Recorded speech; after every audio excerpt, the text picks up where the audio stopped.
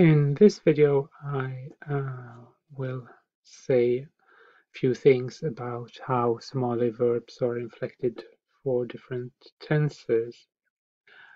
Uh, if we have a quick look at English then there are three basic tenses. There's the present tense and the past tense which are marked by suffixes or endings and then there is a future tense that is uh, formed through the use of an auxiliary uh, that is followed by the infinitive form of the of the basic verb that denotes the, the meaning. Uh, and actually the same uh, is true for Somali. There are three tenses and the present and the past uh, are uh, formed by suffixes.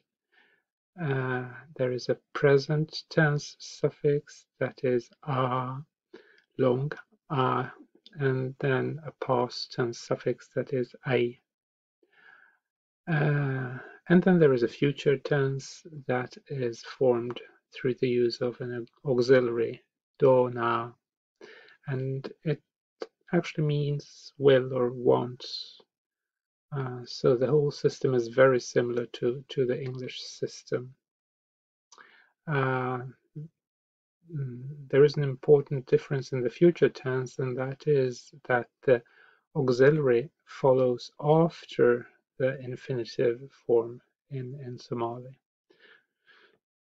Um, but um, in English, there isn't very much more uh, when to say when it comes to to inflection. But um, in Somali, um, these uh, endings uh, are not the whole picture. Uh, because in Somali, verbs are also inflected for person and number. So uh, there is a whole um, set of present tense forms uh, where some are kind of plain without any additional uh, suffixes, only the tense suffix a, but there are also forms that contain a person suffix "t" or "n" or both "t" and "n". Uh, oh, and the same is true for the past tense. There is the first person singular and the third person singular masculine that are plain. They only contain the tense ending. And then there are a number of forms that also contain person endings, the T and the N. And the same is true for the auxiliary, that is actually a present tense uh, verb that is used to form the future tense. So it's a present tense of the verb will, want, uh, that then combines with the infinitive of the verb that we want to put in the future tense. So this is to, to sing, he, si, si. And um,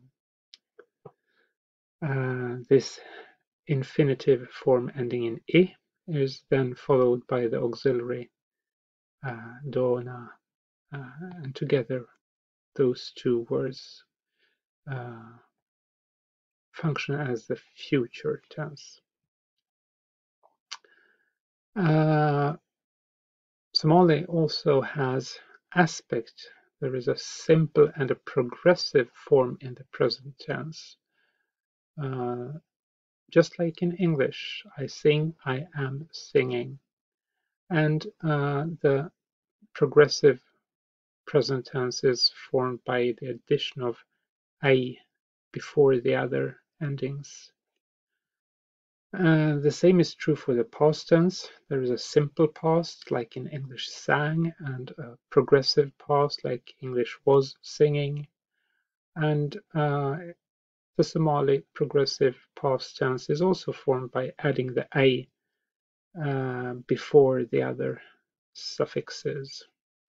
And finally, there is a third uh, there is a third uh, aspect in the past tense in Somali, the habitual form, which is formed through the use of a of an auxiliary uh, verb, jire. So here it's the auxiliary that carries the past tense suffix. Uh, and this auxiliary follows after the infinitive of the basic verb that carries the meaning that we want to express. So used to sing, heesi, sing, to sing, and jire, used. Uh, yeah, and that's a quick um, overview uh, of the tenses in, in Somali. There are three basic tenses, present, past, and future. But since Somali verbs are also inflected for person and for aspect, uh, the number of different forms is quite large. Uh, and there are also some forms that involve involve different kinds of sound changes or sound alternations and uh, that's something that we will need to uh, talk about in a separate video.